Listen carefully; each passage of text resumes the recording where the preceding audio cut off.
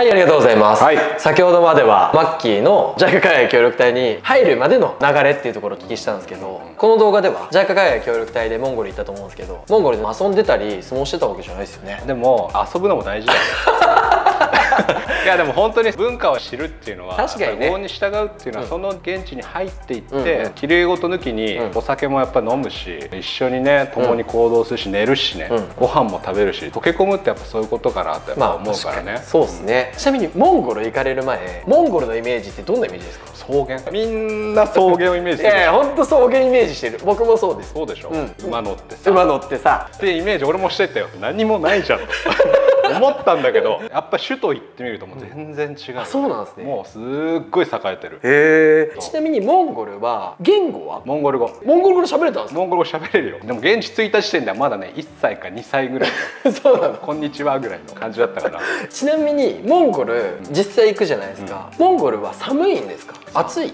夏はでもね30度になる時もあるんだけあそうなんどですね。冬ねマイナス30度とか。意味わかんねえんだけどマイナス30度って何？でもねマイナス30度って寒いと思うじゃん、うん。確かに寒いんだけど、日本人が思ってるほど寒くないの。っていうのも湿度の関係でカラッとしてるからねそんなにね寒さを感じないのが実態。あそうなんですね、うん。ちなみにどんな服装で普段過ごしてるんですか？マイナス30度の時。結構室内はあったかいのよ。こういった壁とかにパールって言われてる熱を通すんだよ、はいはいはいはい。壁中に。だから室内はね本当にあったかい。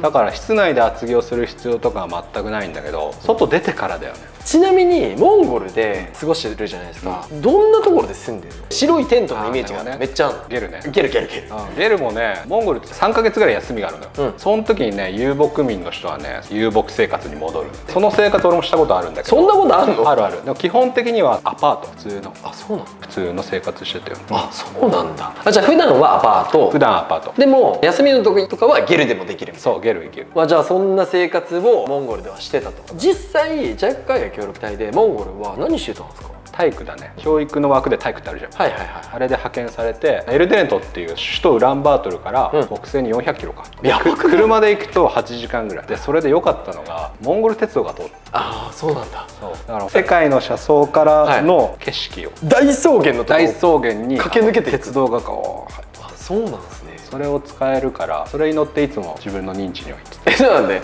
車で行ったら8時間ですよね、鉄道で行ったら何12時間。いやでも遅くなってる。でもね遅くなってるんだけど夜乗るから。ああそういうことですそう。ね朝方着くみたいな。実際学校に所属して体育を教えるっていうのをマキさんはやってた？最初はそれやってて結構珍しいタイプだったと思うんだけど、うんうんうん。要はその現地に行って小中高って一貫だったんだよね。全部のクラス担当したの、はいはいはい。最初はね。でいろいろ教えてもらいながら日本の体育とかいろいろ教えて体育以外にも算数とか図工だとか日本語だとか枠どんどん広げてやってたんだけど教えると分かるんだけど自分がいなくなったらそれがなくなってしまうっていうのはよくある話であるある。せっかく苦労して教えたのが定着せずに終わってしまう。なんかそれが嫌だなっていう気持ちがずっとあって、はい。例えばモンゴルの教育でう僕らが言ってる意味っていうのは教師の理想があるのね、モンゴルの先生って。でそれを生徒にその通りにやらせるっていう。だからインテリジェンスが全くないのよ。それ通りにできる人が正しい。なるほどね。図工であればそれ通りに作れる人それ通りに描ける人。体育であればシュートを決めれる人。ボールの扱いが上手い人。これができる。そのための教育っていうのがモンゴルの価値観なるほど。教育ってなんだろうねっていうのはずっと思ってて、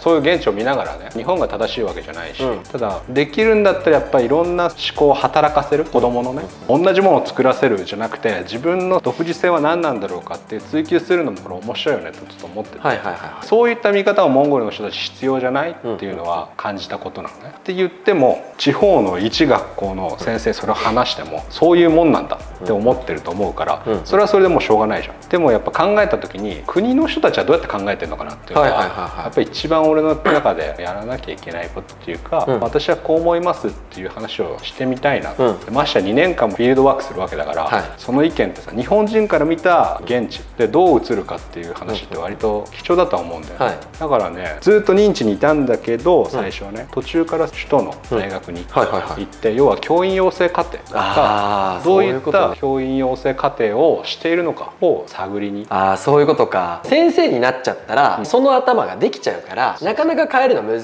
しいと。っていうかモンゴルの教育機関が先生っていうのはこういうもんだっていう位置づけをされているもんだからそういう指導をすると思うんだよねうん。うん。うん。うん。直接的なでもそうじゃなくてもっと独自性を強調するようなものもいいんじゃないかいっていうのが必要だと思ったからね。なのでモンゴル教育大学っていうところにね生徒兼先生で入れてもらったの。だから一緒にね半年ぐらい授業一緒に受けて全部調査してフィールドワークとして残してね、はい。それでねやったんですよ。え実際どうでした？日本とモンゴルの明らかな違いはね日本の先生は生徒がどうできるようになるかの授業をするんだよね、うん。大学で。だけどモンゴルは自分がどうできるようになるかの授業をするんだよだからもうアスリートの養成なのよ。なるほどね。体育で言えば。だからその学校の先生が実際にできるようになるっていうところにフォーカスを当てていてできるようになればもう優秀みたいな、そうすれば子供に教えられる、それがイコールになってたの。だから勝利至上主義をねできることが正しい全て、っていう考え方っていうことはよく分かったなるほど。それ分かってマッキーさんどういうふうにアクション次取られたんですか？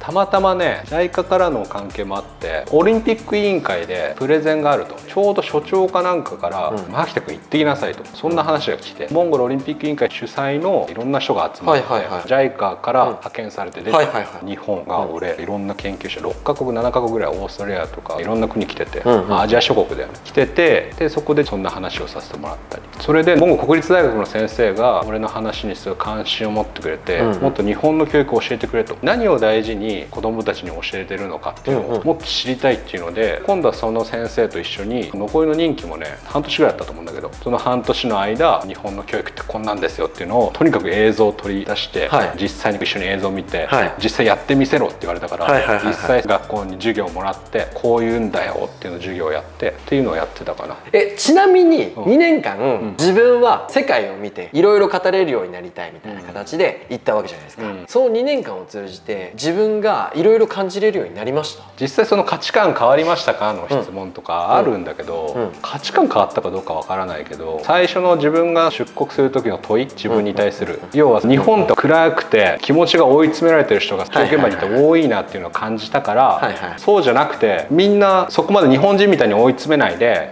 明るい。